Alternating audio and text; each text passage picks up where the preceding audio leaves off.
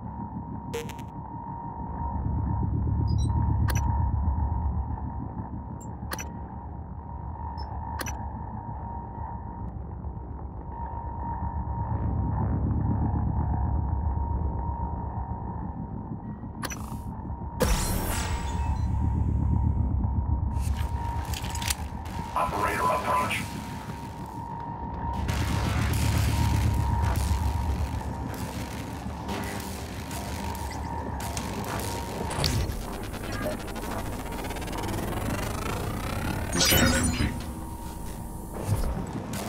Psionic aptitude available.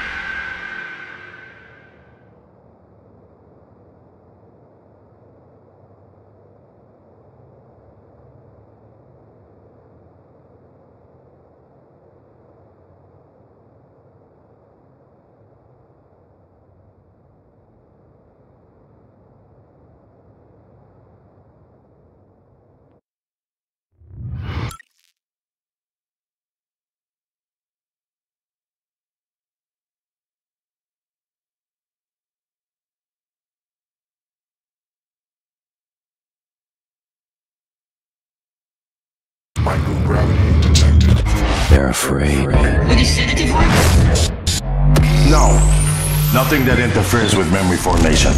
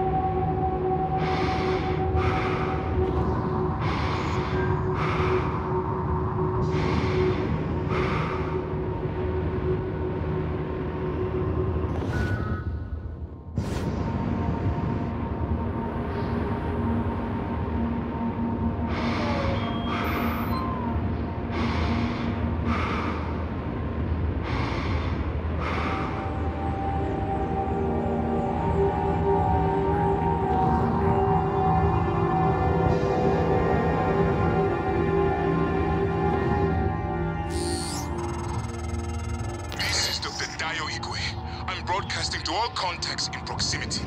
Please, whoever is out there, listen to me. Oxygen is low, and I have no spacesuit. An accident in cargo bay forced me to seal myself inside this container, but I have no way to dock with the station from in here. I see you, Morgan. We've locked down the cargo bay. We're safe. For the moment. It will be a trick to get inside. There's not an airlock anymore. That explosion took care of that. Maybe you can do something with the shipping containers.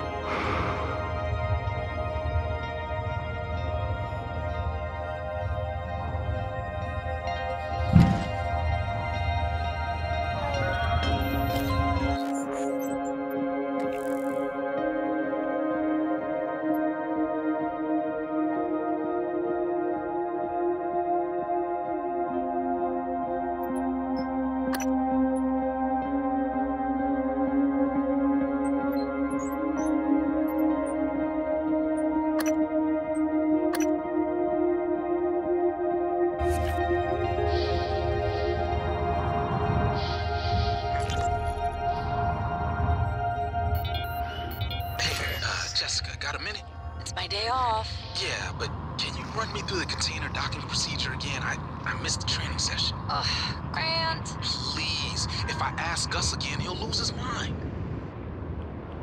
Are you at the crate docking control station? Yes. First, enter the handling number on the container you want to dock. Um, where do I get the number? Look at the container, Grant. It's stenciled on the outside.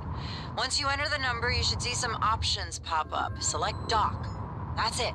The container just docks itself, right? Yes, Grant. It docks itself. They are all self-piloting. And I guess open opens the container? Yes. But both ends can never be open at the same time. That way, the interior loading zone stays pressurized even when the cargo bay doors are open. Okay, I think I got it. Thanks, Jess. Jess? Hey, you there? Okay, bye.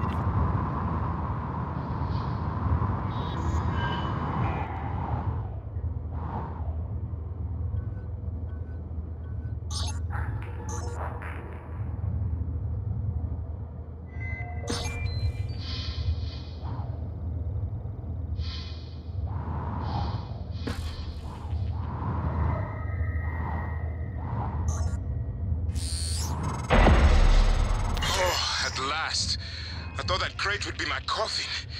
Even the stale air of Talos laced with a faint hint of nicotine and antibacterians.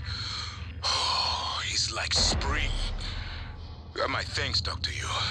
But I thought... Well, you're no longer running the memory hamster wheel, I see. I hope you're coming in after me. Would be good to see a familiar face. And transmitting the code to the crate I was in.